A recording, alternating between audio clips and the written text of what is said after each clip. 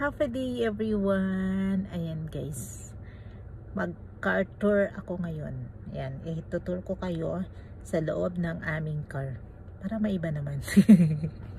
Ayan. Okay.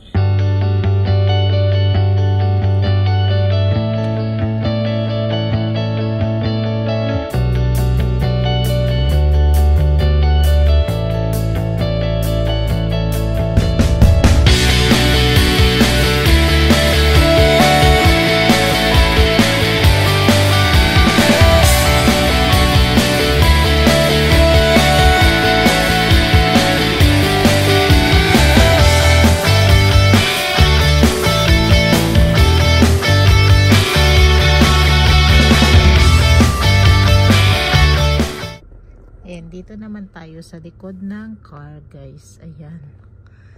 Ayan yung binigay ng bitching ko kanina. Ayan.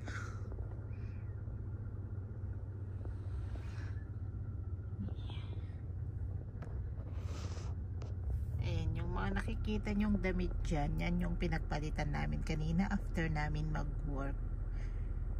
Mag-work. Mag-workout. Ayan. Maglakad-lakad.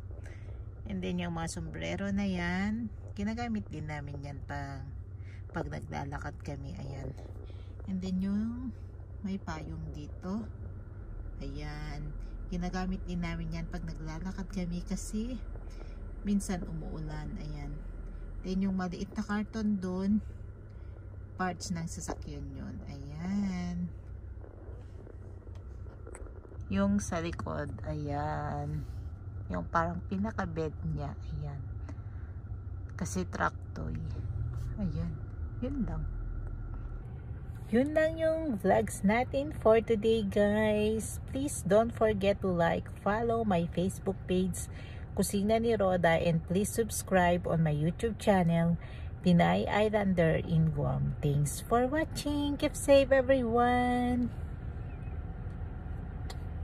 See you on my next video.